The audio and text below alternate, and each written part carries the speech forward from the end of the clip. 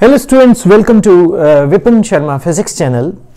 Students, this is an English version of the concept acceleration of a cylinder rolling down an inclined plane.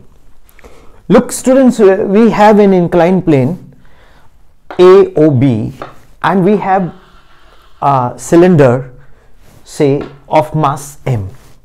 Students, the weight of the cylinder is mg, right? This angle is theta. So this angle will also be theta. As you know, angle between the planes equal to angle between their normals. So mg can be resolved into two components, mg cos theta and mg sin theta.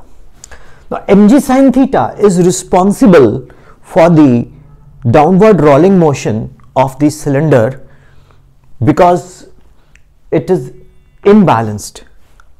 So mg sin theta minus force of friction is equal to ma.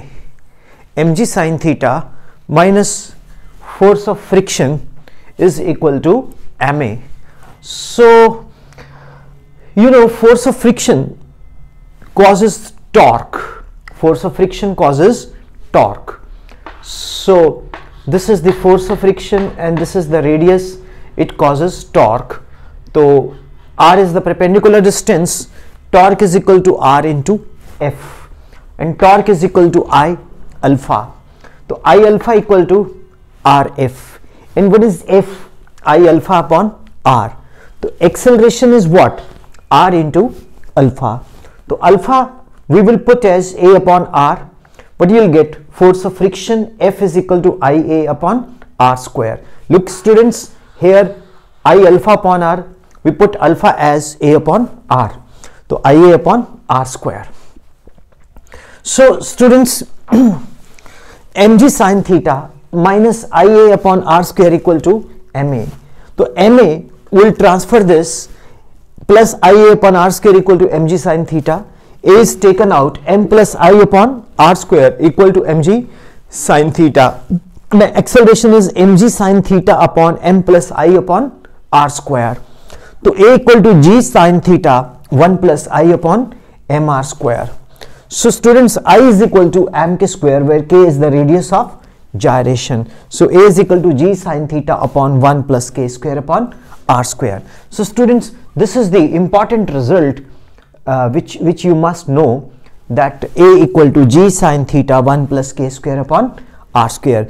You can find the values of k square upon r square of various rigid bodies and you can find the acceleration right? Students there is a famous question. A cylinder a ring and a sphere is allowed to slide down on the inclined plane which will reach the bottom first so you just simply calculate the k square upon r square and you can calculate the accelerations.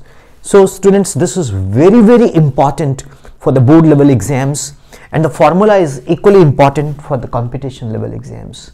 So this is an English version of the lecture. Thank you.